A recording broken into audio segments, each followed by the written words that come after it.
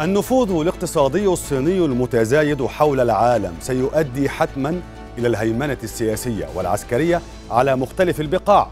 هذا ما توقعته مجلة فورين افيرز الأمريكية لأن سياسة الصين عادة تعتمد على علاقات اقتصادية قوية وعلى مصالح متبادلة. فمثلا تسعى الصين إلى توفير موارد طاقة وطرق نقل أكثر امنا من كل من إيران كازاخستان وباكستان.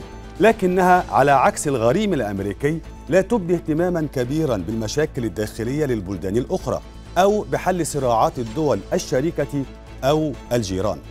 واعتبرت فورين افيرز أن تلك السياسة الصينية تهدد نفوذ الولايات المتحدة وفي الوقت نفسه تدعم الأنظمة الموالية للمعسكر الشرقي حتى يظل هذا المعسكر قويا.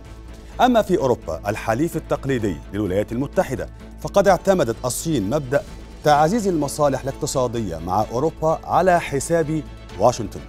هذا الصراع السياسي هو صراع يخشاه العالم.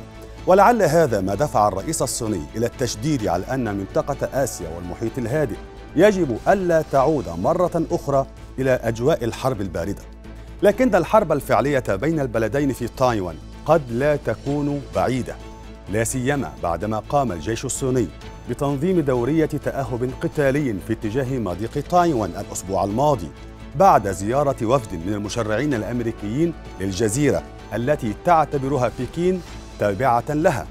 وبعدما هدد وزير الخارجية الأمريكي أنتوني بلينكين بتحرك مع الحلفاء لم يحدد ماهيته إذا ما استخدمت الصين القوة لتغيير الوضع الراهن لتايوان